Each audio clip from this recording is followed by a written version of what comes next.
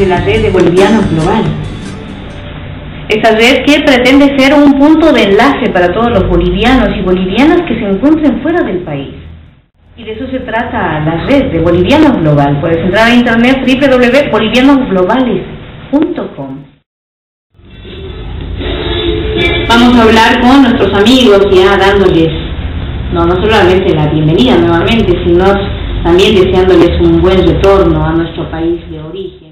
Hola, ¿cómo están? Mucho gusto. ¿Cómo nació la idea de Bolivianos Globales? Surgió de una serie de conversaciones que teníamos con amigos bolivianos cuando yo vivía en Santiago de Chile. Eh, había un sentimiento de cariño y nostalgia hacia Bolivia y también había una, habían ganas de hacer algo por nuestro país independientemente de que estemos fuera. Eh, en ese momento no sabíamos cómo hacerlo, se nos ocurrió que quizás podíamos organizar talleres, conferencias de bolivianos viviendo en el exterior y que podían eh, contarnos sus experiencias estando eh, retornando a Bolivia por un tiempo. Y pasaron un par de años antes de que surja esta, esta iniciativa que fue posible gracias a la aparición y a la popularización de las redes sociales en Internet. Eh, cuando nos dimos cuenta del poder de las redes, de, de, la capacidad que tenía eh, en ese caso en particular Facebook para poder facilitar el encuentro entre bolivianos, dijimos, esta, esta red social impresionante, ¿no? Sí, sí, en este momento estamos eh, más allá de, de 60 países del mundo, hay bolivianos que nos escriben desde Qatar, otros que nos escriben desde Congo, de Nueva Guinea, en fin. Eh, y son cerca de 6.000 por el momento los que están dentro de la red, están compartiendo y conociéndose. ¿Cuál es el plan a futuro de Bolivianos Globales, aparte de ser un punto de encuentro, una plataforma virtual? ¿Cuáles son las líneas de trabajo que van a tener? Eh, la filosofía que está detrás de Bolivianos Globales es la de facilitar encuentro y colaboración entre los bolivianos alrededor del mundo y también con sus familias y amigos dentro del país. Eh, dentro de esa línea, dentro de esa filosofía, eh, buscamos no solamente crear un espacio web, sino también un medio radial, hacer contactos con diferentes otros medios, generar videos, etcétera, que permitan que no solamente estemos informados, sino algo muy importante, que nos enteremos de lo bueno y de lo mucho que estamos logrando también fuera de nuestras fronteras. Queremos ser un medio y un espacio para comunicar el valor de la lucha y del logro de nuestros compatriotas alrededor del mundo. ¿no? Porque hay historias buenas, hay historias exitosas, también hay historias de dolor, ¿no? cruzando las fronteras. Así es. Esto de a veces decir, sí se puede, como dicen los mexicanos, si se puede lograr, si se puede construir un futuro mejor, si se puede tener una mejor calidad de vida.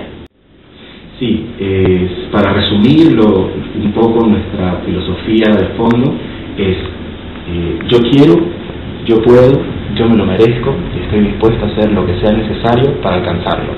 Eh, y eso trasciende la bolivianidad y nos hace falta. Yo siento que nos hace falta después de, vivir, después de haber vivido cinco años fuera del país, de vez en cuando me encontraba con unas barreras que hacían que uno tenga que poner el doble de esfuerzo para poder decir con certeza y convicción yo me puedo. lo merezco y lo quiero y puedo. Ahora, es increíble cómo nosotros, eh, culturalmente, independientemente de la región de donde uno haya nacido, tenemos como ya el, el feminismo incorporado, ¿no? Eh, eh, recuerdo algo, dos cosas eh, bien, bien para palpar.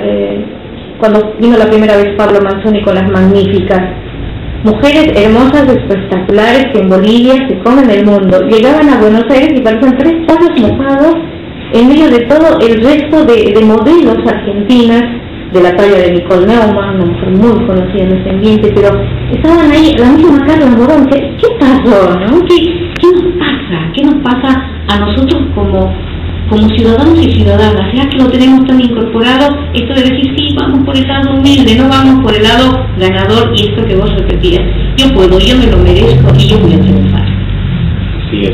Creo que estamos en un proceso de convertirnos en aquello que queremos ser, entre lo que somos ahora, entre lo que creemos que somos ahora y lo que somos capaces de llegar a ser, hay una brecha que le estamos recorriendo, yo diría que con mucho, con mucho éxito, y aunque no se note tanto, hay miles de historias de éxito, de logro, de, de, triunfo entre los bolivianos viviendo alrededor del mundo que vale la pena ser comunicadas y es precisamente a partir de evidenciar lo mucho que podemos lograr eh, en el día a día eh, que vamos a ir reforzando este sentimiento de autoestima nacional que yo diría que más que hacernos falta es algo que no nos damos cuenta. Pero tenemos tal vez dentro, esa garra peleadora, si no, no podríamos sobrevivir cruzando las fronteras con tan pocas herramientas, ¿verdad? Así es, ah, estamos sorprendidos de encontrarnos todos los días en cada conversación que tenemos con gente boliviana alrededor del mundo de las grandes historias de, éxito y de logro eh, y muy emocionados por ello también. Seguramente, como los paisanos en Tucumán que dicen, sí, tengo mi quintita, y no, la quintita era una, no era una quintita, eran más de 20 hectáreas y eran los principales productores de frutillas a Europa, ni siquiera al mercado interno, ¿no? Y como a veces desde lo que uno habla mm, no, no, no menosprecia, sino como que minimiza los logros. Tal vez estamos en esto. Con Bolivianos Global estamos hablando con Pablo Sánchez, el director de este portal, que va a ser un punto de encuentro virtual para todas y todos los que